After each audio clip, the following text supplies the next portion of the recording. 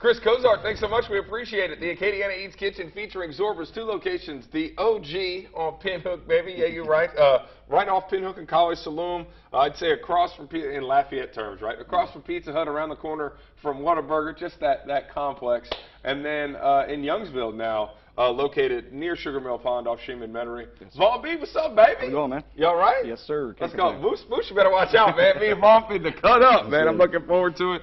Uh, Vaughn, you've been with Moose and the crew at Zorba's now, uh, dating back to the mall before it was Zorba's. Yes, sir. Um, for those at home that haven't been or haven't had the chance to check out Zorba's, how do you normally describe what y'all do at the restaurant every day? Uh, over here at Zorba's, first off, it's a little Mediterranean. It's very healthy. We're here for the long run. Um, we have Zorba's, Gyros, burgers, and more. It's pretty much self-explanatory. It's in the title. So come on by. We'll take care of you. Look, one of the things I always love to have when I make my way over to Zorba's, whether it's the combination plate, uh, the Gyro, the pita wraps, or uh, a salad, man. Yes, uh, tell me, man, y'all work extremely hard.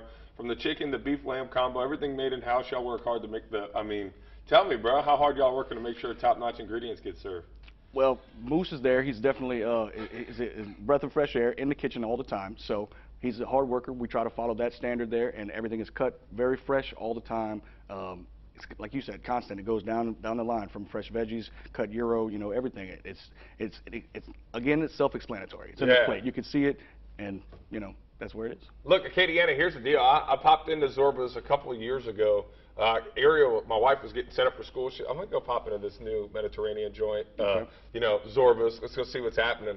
And since then, it's obviously because people at home are like, "Man, Zorba's joining Gerald again, baby." It's one of my favorites, no doubt. Look, and I said Zorba's was coming in the kitchen today. Yeah. Uh, Chris Cozart, uh, Danielle, Clay, everybody was like, "Oh yeah, baby, Zorba's in the mix." So uh, it's a fan favorite here at KLFY News 10. Uh, Vaughn, this morning, what are we going to be putting together uh, throughout the course of the morning? What are the dishes that you bring for us? Okay, I'm going to be doing what we have. It's a new menu item. It's called the junk plate.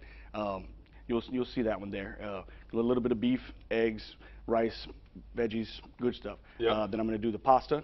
Uh, I'm going to do the original gyro and the Greek fries. Okay, Yes, cool. sir. I love it. Look, and he's got plenty, and that's the thing what's, that's really cool about uh, the setup at Zorba's. There's so many things Yeah. that can be made with y'all's foundational, uh, I would say, uh, items, right? You can do so much with the chicken, the beef, lamb, the whole shebang. Anyway, Zorba's in Youngsville. Moose, uh, Moose.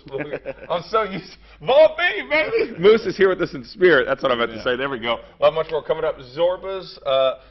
Say that. What, I always say Zorba's. Zorba's, Gyros, burgers, and more. There we go. Yeah. Love y'all. Much more coming up from the Acadiana Eats Kitchen.